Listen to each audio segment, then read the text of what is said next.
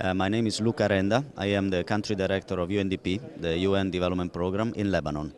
I mean, I think DIHAD is already an established uh, event, uh, has a reputation for attracting the best uh, practitioners and experts in the area of humanitarian, but increasingly also development.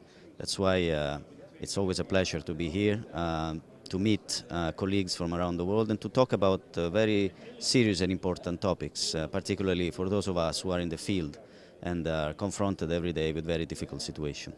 The pleasure is ours.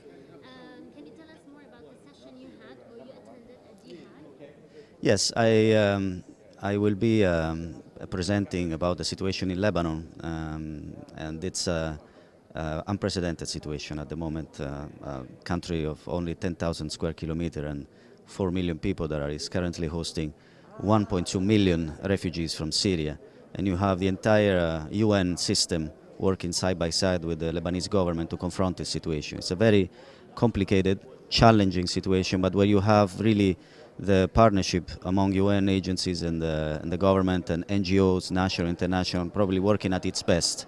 And uh, the whole session is about forced and displaced uh, people.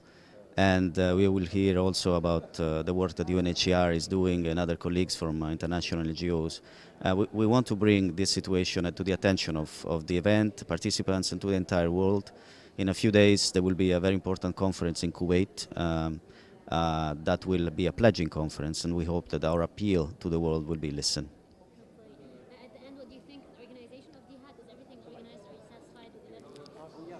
I think uh, I think the, it's a top-notch um, level of organization. From the moment one steps in, uh, the beauty of the uh, the town, the city, and the, the facilities, uh, the kindness of uh, the people are organizing, and the quality of the entire service is excellent.